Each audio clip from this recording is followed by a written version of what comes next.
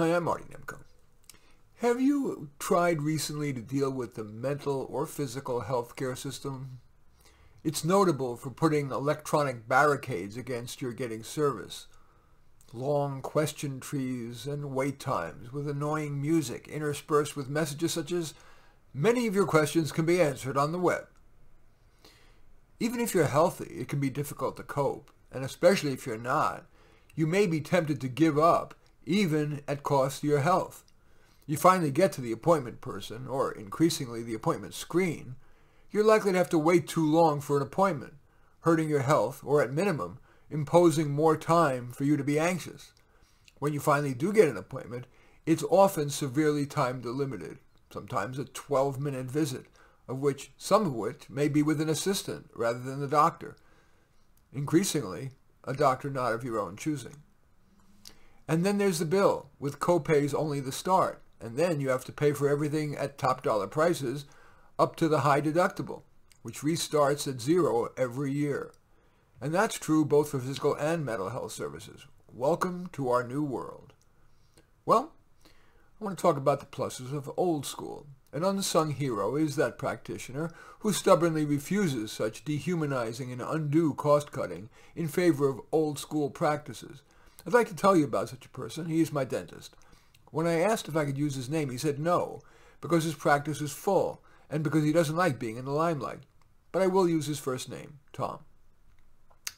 Here's how he works. 1. To get an appointment, you phone, and Tom's competent assistant, Linda, picks up right away, and you can get an appointment within weeks.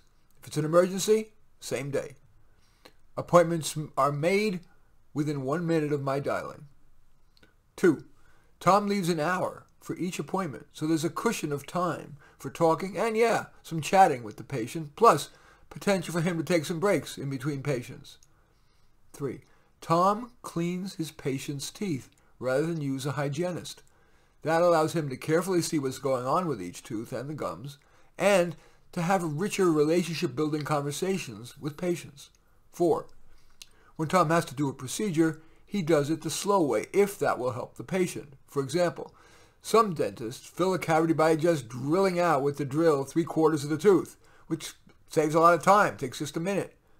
But by using a hand tool and the drill only where necessary, Tom can save nearly all the tooth, usually, which means the patient will keep that tooth far longer perhaps forever. Tom, number five, Tom knows his limits. So, for example, the one time I needed a tooth extracted, he said, Marty, I can do this myself, but I think an oral surgeon will do it more cleanly. I'll refer you to this great guy. For Tom, it's the patient first, money last. And lastly, Tom charges patients a moderate rate if they don't have insurance, and for people who do, the, the bills that uh, he bills the insurance company at a rate such that the patient pays little or nothing.